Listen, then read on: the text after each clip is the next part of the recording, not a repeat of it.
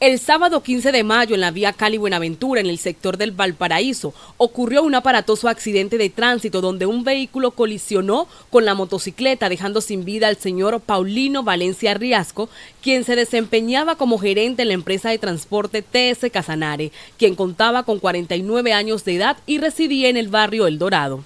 Mientras la comunidad esperaba que llegaran las autoridades pertinentes para realizar las investigaciones del caso, la motocicleta se encendía en llamas hasta quedar incinerada. Las autoridades determinan los hechos de este fatal accidente.